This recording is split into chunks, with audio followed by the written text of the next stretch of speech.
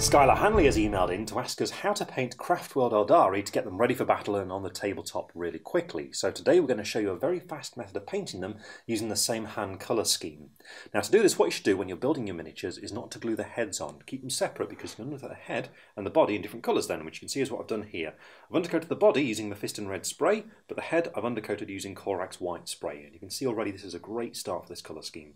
But the paints we're going to need are Carroburg Crimson to begin with, and then Evil Sunz Scarlet. After this we need some Abaddon Black to paint in some details, and then we're going to need Stormhost Silver for all the silver parts, and then some Waystone Green to paint in the gems.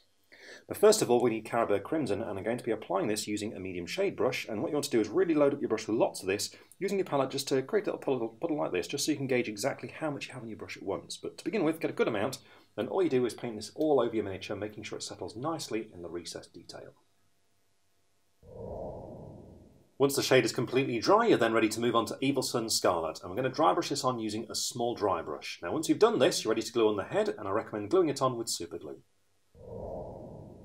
With the head super glued on, we're now ready to move on to Abaddon Black for a number of details on the miniature. We've got the faceplate to do, but also the shuriken catapult and other details such as the neck joint on the armour.